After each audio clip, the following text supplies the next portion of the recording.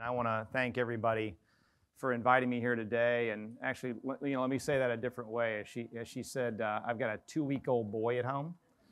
So in the last 48 hours, I've been puked on, peed on, woken up repeatedly out of an almost deep and restful sleep. And so I am really, really grateful to spend some time with you here today. If I, if I lay down and take a nap during my speech, you'll know why. Before I begin, I want to recognize uh, some of my colleagues who are here with us today. And if forgive me if you've already done that, we're going to do it again for a minute. I came down here with uh, my good friend, Representative Bobby Payne. Bobby, if you'd stand up.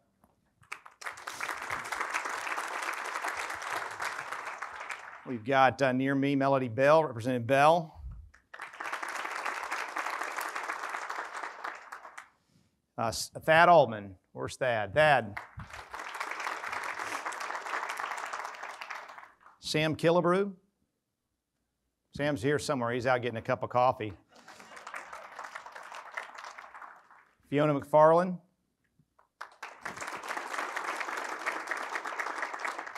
And Representative Keith Truenow. And uh, you're going to hear from me today, but the people that are going to make the Florida Wildlife Corridor happen from a state government perspective are the people I just named and others who aren't in the room today. They're the ones that are going to get it done. So, uh, and they have a passion for this project, I can tell you. So, as I was driving down here today, I began on I 95 and then came down I 4. And I thought about what that trip would have been like, maybe on horseback, when the state was first formed in 1845 given the traffic we hit, it might have been quicker.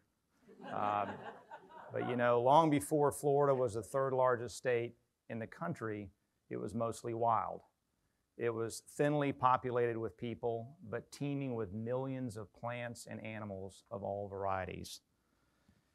And the good news is that a wonderful wild remnant of Florida remains. The bad news is that if we don't act, it will dwindle away unless each person in this room commits to save it.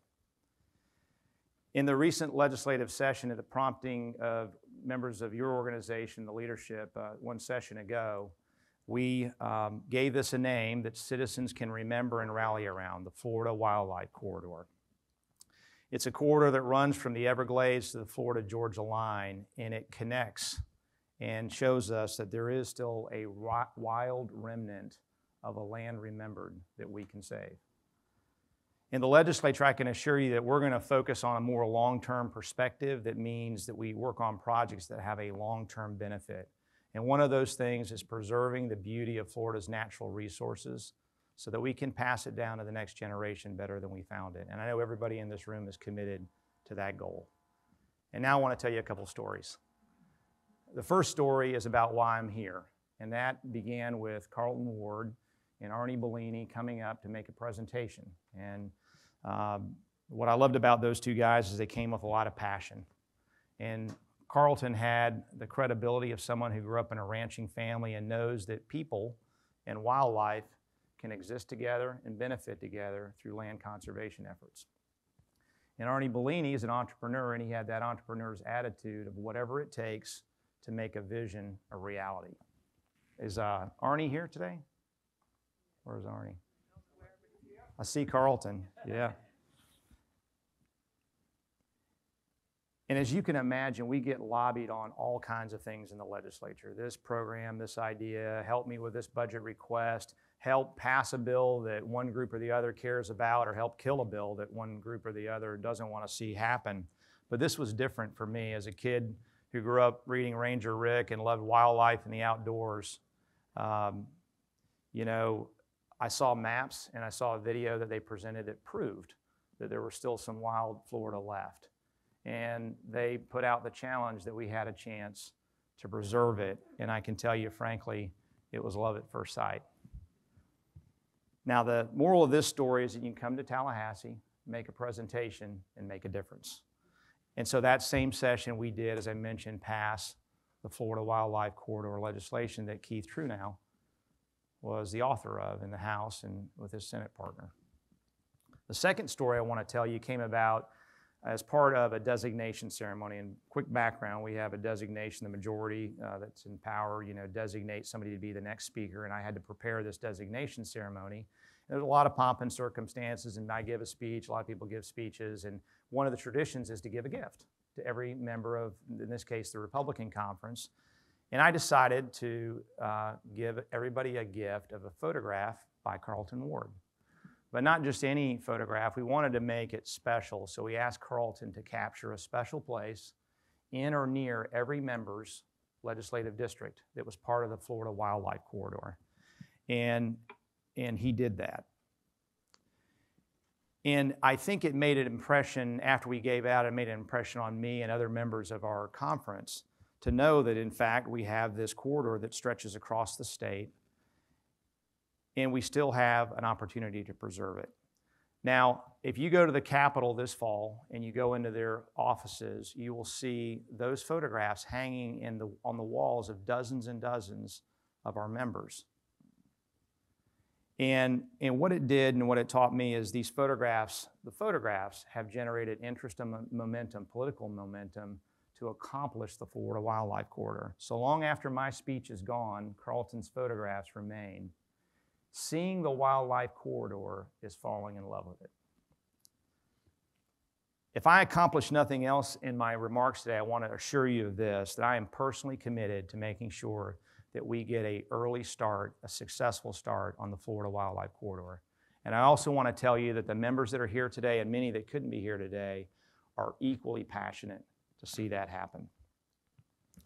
You know, my term will end in a couple years, and uh, this project, uh, for better or worse, is going to take longer than that. But the people in this room and those that come behind, I know are committed to see it through with you till the very end. And I can promise you that in the next two and a half years, if I have anything to do about it, we're going to make sure we make real progress toward that goal.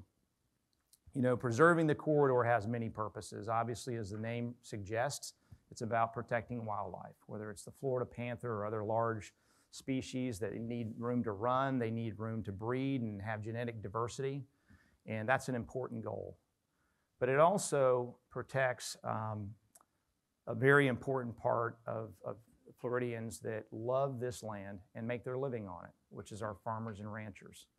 There's a saying that if you got a chance to eat today, you know, thank a farmer or rancher. And these are people who understand that, that wildlife and, and humans and, and, and this, this type of uh, enterprise can live in har- relative harmony and benefit by conserving the land for each other. But I think that uh, COVID and, and the, uh, even the war in Ukraine has taught us that food security is an important factor. Uh, we, we saw how a lot of that can be put at risk. And we are so blessed in the state of Florida to have a vibrant agricultural community that feeds not only the state of Florida, but a large part of the nation in providing fresh fruits and vegetables, providing beef cattle. And I don't think that can be lost in our conversation about preserving that for the future. And finally, it's about protecting the environment. And I, I, hope that it's not as we acquire land and conservation easements that we do better than preserving the environmental status quo. We should make sure that as we secure these things, that we get more out of the land, more, uh, as they say, uh, environmental services or whatever the, the technical term is for it, to make sure that we are improving our opportunity to have a lasting water supply, that we're giving the aquifer a chance to recharge. And as well, I believe that the wildlife corridor can play a very important role in our water quality.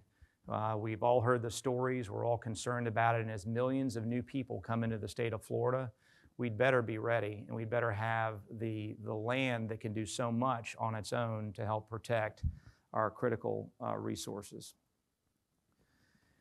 And so, protecting wildlife, preserving farms and ranches, and enhancing our environment is a triple benefit to the Florida Wildlife Corridor that, is, that few projects that the state works on can claim. It's a project I really look forward to working on personally with my colleagues that I mentioned and, and making this collective goal a reality. I want to just thank you so much for your invitation to me today. And again, I want to thank you for allowing me to spend the whole day with you today. I hope my wife's not listening. The, ba- the baby cried just as, uh, as I left. I said, Sorry, honey, I've got to leave. But it's really great to be with you. I, I you know, I want to just say again, uh, thank you to you, Carlton. Uh, you know, again, there's few meetings that you walk away from and, and kind of fall in love with an idea. And uh, the way you presented that uh, with facts, with, with pictures, uh, and, and presented it in a way that, that uh, cuts across party lines, that just makes you really want to be a part of something special.